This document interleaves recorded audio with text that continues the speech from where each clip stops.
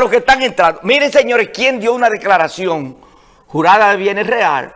La ministra de la Cultura, Carmen Heredia, y la propia procuradora, cada uno con 6 millones de pesos. Gente con 70 años de edad que han trabajado todo. Oigan, oigan esto, para que ustedes vean este contraste.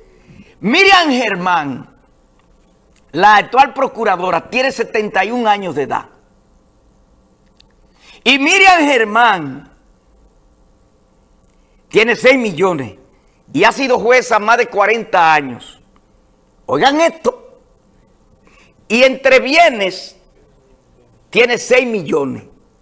Y Jean Alain Rodríguez, con 8 años que duró en el gobierno de Danilo Medina, declaró 214 millones de pesos.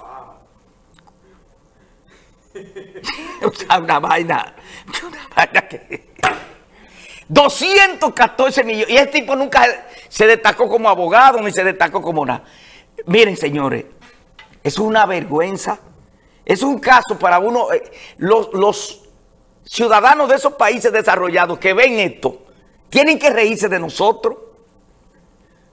Tienen que reírse y, y, oigan esto, esto algunas consecuencias tiene que tener. Porque eso no es posible, señores. Eso es anormal. Y el que no me crean a mí, busquen de alguna manera para que ustedes vean declaraciones juradas de todos esos países. Y sencillamente son servidores públicos. Pero yo, lo, yo les voy a enseñar algo ahorita de una declaración. Mira lo que dice aquí, se lo voy a enseñar desde ahora. esa gente contando dinero y nosotros sí. Oye, uno por cuatro, yo por... No me, me pone malo a mí. Eso me pone malo a mí. nada más quiere 50 mil pesos. Oye, uno puede dos o tres miles de pesos y, estos tipos con todos estos millones deploran. Oigan esto, señores. Miren esto. Esto es una fuente del PRM. Deploran que los PRMistas solo tengan competencia para buscar votos, pero no para ir al gobierno. Atiendan esto, entre otras cosas. Le voy a leer esto.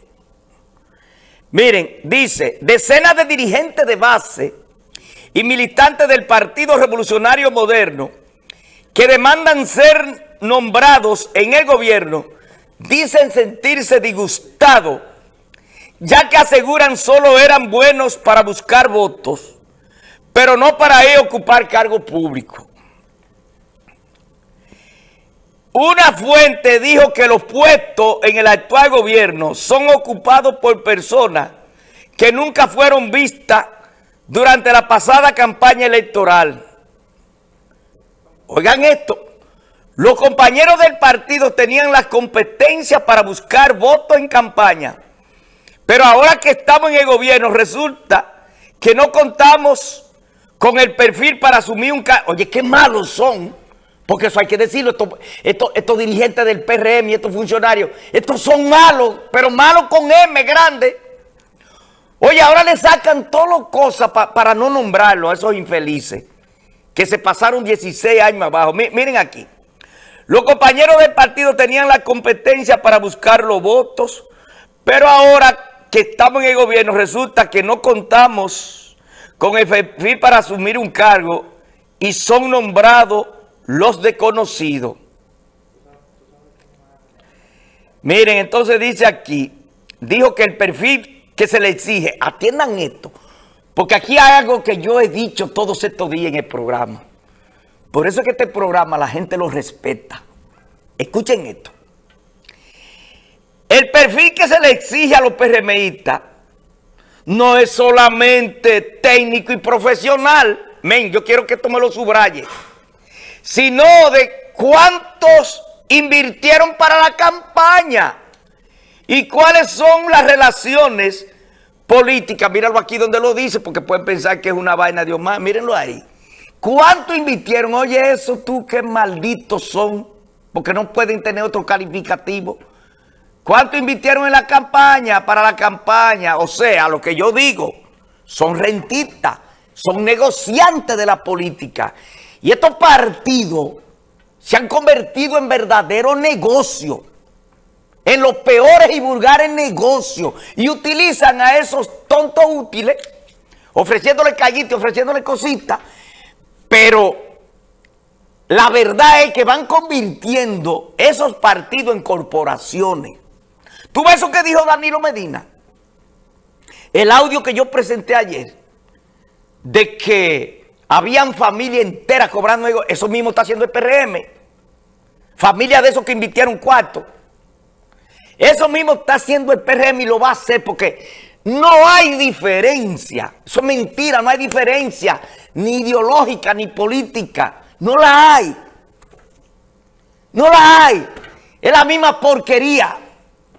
Engañando al pueblo. Ustedes verán. Mira ahí.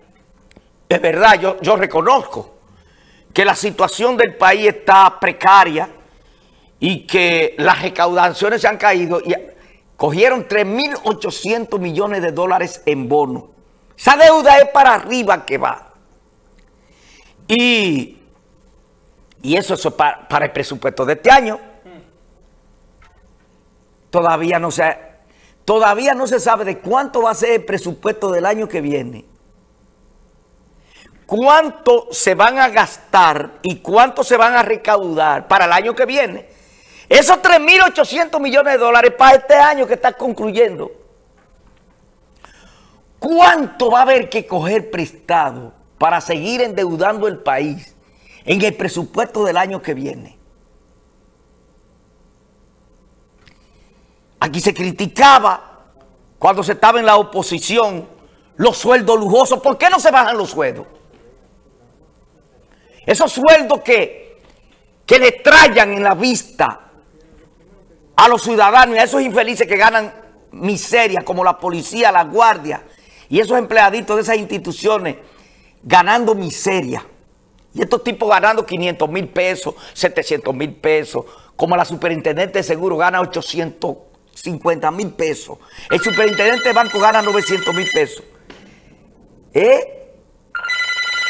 Y el barrilito y el cofrecito de los senadores y los diputados. Ya llevamos un mes y dos días y no se habla de eso. Buenas tardes. Buenas tardes, Omar. ¿Cómo estás? Bien, gracias, un placer. Omar, te estoy llamando para, para recordarte algo. Que cuando estábamos en la campaña yo te dije a ti que aquí no había por quién votar. ¿A ti no te gustó? No, no, no, usted, no, usted está equivocado. Ellos sabían por qué votar. Oiga, oiga, del PLD había que salir, déjese de vaina, no me venga con eso a mí. Del PLD había que salir, y lo dije siempre. El que esté equivocado es usted. Yo dije hay que salir del PLD, aunque esto haya que combatirlo a los dos o tres días. Yo soy coherente. No me venga usted a enredar a mí. Yo soy coherente. Yo dije, del PLD hay que salir, aunque a lo que eh, se elija, lo combatamos a los dos o tres días. No me venga usted a enredar con eso, a justificar el PLD. Del PLD había que salir. Oh, pero ven acá. Adelante, buena. Calma, calma, calma, calma, calma, calma. Entonces, ¿qué resulta? ¿Qué resulta? Que eh, mira con qué, qué- qué charlatanería. No, que yo te dije que no había. Sí, había por qué votar. Y se votó por, por esta gente. ¡Aló! El PLD no se podía permitir ahí. No me venga con vaina a mí. Buena, Leocadio. ¡Aló! Sí, lo escucho, ¿Cómo Leocadio. estás tú, Omar? Bien, gracias. ¿Y usted? Omar, pero ahora nos vamos a endeudar, ¿va? ¿Cómo es? Atrás del soborno viene una reforma. ¿Y quién la va a pagar el pueblo? Ay, ¿quién lo va a pagar que no sea el pueblo, Leocadio? ¿Quién lo va a pagar? Entonces, señores, Estamos mal, Omar. estamos mal. Estamos mal. Lo que pasa es que aquí hay gente, mire ese charlatán, y que recordándome a mí, porque es PLDista. Yo estoy criticando al PLD y estoy criticando al PRM. Usted no, usted lo que quiere es criticar al PRM y defender el PLD. Yo lo estoy criticando a los dos. Yo lo estoy criticando a los dos. Porque yo lo malo, no importa quién lo haga. El del PLD había que salir. Pero Danilo Medina que acaba de decir lo que no merecían. No, pero ¿y ¿cómo es que la gente no lo escucha? Danilo acaba de decir, por todas las atrocidades que estaban haciendo los PLDistas, es Danilo con su propia voz que dice, no merecíamos estar en el poder. Oye, oye, ese estúpido con qué me sale. ¿Qué me Coño, pero vámonos a la pausa. Vámonos a la pausa.